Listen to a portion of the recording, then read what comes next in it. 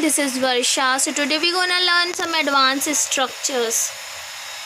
हमारा आज का फ़र्स्ट स्ट्रक्चर है even if I have to plus verb का first form plus I will कोई कार्य करना भी पड़ा तो करूँगा। हमारा पहला एग्ज़ाम्पल है, अगर मुझे जाना भी पड़ा तो मैं जाऊँगा।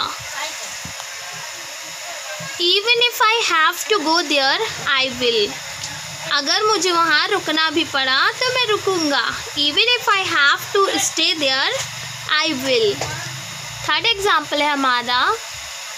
अगर मुझे पढ़ना भी पड़ा तो मैं पढ़ूँगा। Even if I have to study there I will अगर मुझे खाना भी पड़ा तो मैं खाऊँगा। Even if I have to eat there I will so so, ये हमारा एक छोटा सा एडवांस स्ट्रक्चर है। एडवांस स्ट्रक्चर से हमारे इंग्लिश में और भी ज़्यादा फ्लुएंसी आती है।